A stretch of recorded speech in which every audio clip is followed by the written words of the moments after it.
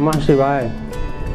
आज हम राशि फल की चर्चा करेंगे, जिसमें 12 राशियों में चंद्रमा का क्या क्या फल होता है, वो बताएँगे।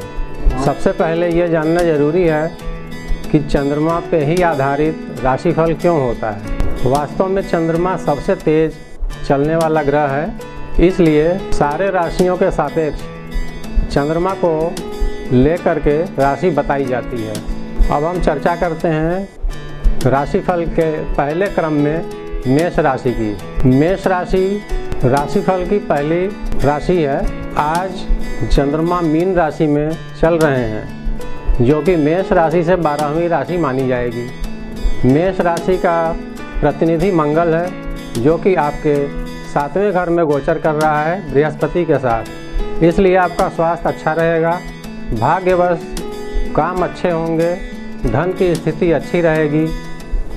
बच्चों से संबंधित कार्य आसानी से संपन्न होंगे।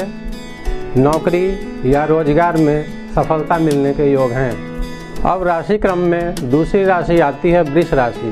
वृष राशि का प्रतिनिधित्व शुक्र करता है, जो कि धनु राशि में गोचर कर रहा है। आपको विशेष तौर से स्वास्थ्य संबंधित सावधानी रखनी चाहिए। स्वास्थ्य बिगड़ सकता है। धन संबंधी मामलों में सहायता मिलेगी। काम रुक रुक के होंगे। संतान संबंधी शुभ समाचार मिल सकते हैं। अब राशि क्रम में तीसरी राशि आती है, मिथुन राशि। मिथुन राशि का प्रतिनिधित्व बुद्ध करता है, जो कि आपकी राशि से छठवें चल रहा है।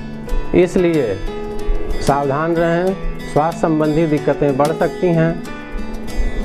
धन के मामले में अचानक धन लाभ हो सकता है। संतान के मामले में समाचार सुखद मिलेगा। बच्चों की पढ़ाई में मन लगेगा। कार्य संबंधी मामलों में अनुकूलता रहेगी। अब आते हैं राशिफल की चौथी राशि, कर्क राशि। कर्क राशि में चूँकि पहले से ही राहु चले आ रहे हैं, इसलिए विशेष तौर से सावधानी रखनी पड़ेगी। स्वास्थ्य से संबंधित सावधानी आप विशेष तौर से लंबे समय तक रखें। धन संबंधी मामले में अनुकूलता मिलेगी। स्वास्थ्य संबंधी मामले को छोड़ दिया जाए तो अन्य सभी मामलों में आपको अनुकूलता मिलेगी। भाग्यवश काम कुछ अच्छे होंगे। व्यवसाय या नौकरी में अतिरिक्त कार्य या रोज़गार में धन लाभ मिलेगा। अब आते हैं राशिफल की पांचवी राशि। सिंह राशि।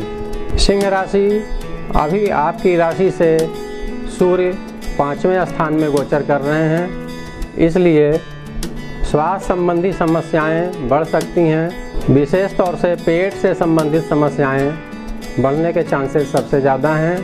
चंद्रमा चूँकि आपकी राशि से आठवें चल रहे हैं, इसलिए मन परेशान रहेगा। थोड़ी कार्य और व्यवसाय में अड़चने आ सकती हैं। धन संबंधी मामले में सहयोग मिलेगा। अब आते हैं राशि फल की छठवीं राशि, कन्या राशि में। कन्या राशि का प्रतिनिधित्व बुद्ध करता है। बुद्ध आपकी राशि से पराक्रम भाव में बैठा हुआ है। इसलिए जो भी प्रयास करेंगे, उसमें सफलता मिलने के चांसेज हैं। सफलता मिलने के योग हैं। धन संबंधी मामलों में अचानक धन लाभ हो सकता है। स्वास्थ्य ठीक रहेगा, संतान के प्रति शुभ समाचार मिल सकता है। कार्य में उन्नति मिलेगी। अब आते हैं राशि फल की सातवीं राशि, तुला राशि। तुला राशि का प्रतिनिधित्व शुक्र करता है, जो कि आपके पराक्रम भाव में गोचर कर रहा है। शनि भी वहाँ बैठा हुआ है, शुक्र भी वहाँ बैठा हुआ है और सूर्य भी बैठा हुआ है। शुक्र इस स्थान में अस्त हुआ, अस्त है, इसलिए स्वास्थ्य संबंधी चिंता बनी रहेगी। धन संबंधी लाभ मिलेगा। कार्य व्यवसाय में उन्नति के योग हैं। अब आते हैं राशि फल की आठवीं राशि, वृश्चिक राशि।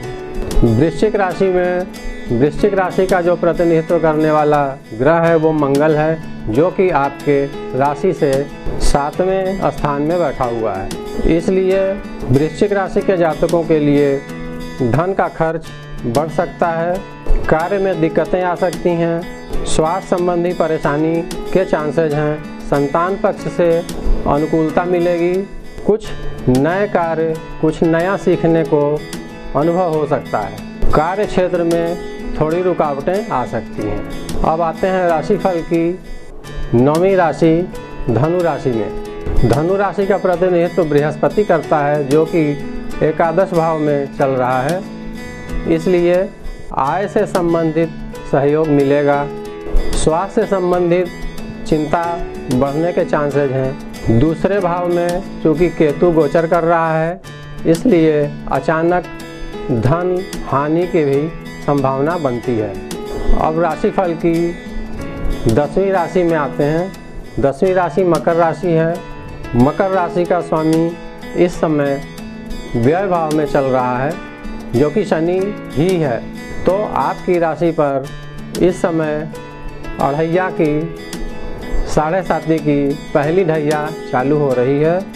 इसलिए सावधान रहें। मन व्याकुल हो सकता है। धन संबंधी कार्यों में बाधा आ सकती है। स्वास्थ्य संबंधी चिंता बढ़ सकती है। मकर राशि वाले विशेष तौर से स्वास्थ्य स्वास्थ्य को लेकर सावधान रहें। अब राशिफल की ग्यारहवीं राशि कुंभ राशि आती है। कुंभ राशि के स्वामी शनि हैं, जो कि कुंभ राशि से एकादश भाव में बैठे हुए हैं। इसलिए आय संबंधी अनुकूलता बनेगी, स्वास्थ्य संबंधी समस्याएँ थोड़ी बढ़ सकती हैं। संतान पक्ष से अनुकूलता मिलेगी, कार्य और व्यवसाय में अड़चने आ सकती हैं। अब आते हैं बारहवीं राशि, जो कि मीन राशि है। मीन राशि का प्रतिनिधित्व तो बृहस्पति करते हैं, जो कि मीन राशि से आठवें घर में बैठे हुए हैं। इसलिए स्वास्थ्य संबंधी चिंताएँ बढ़ सकती हैं। धन के मामले में अनुकूलता मिलेगी, क्योंकि धन भाव पर बृहस्पति की दृष्टि बनी हुई है। मन प्रफुल्लित रहेगा, संतान पक्ष से अनुकूलता मिलेगी।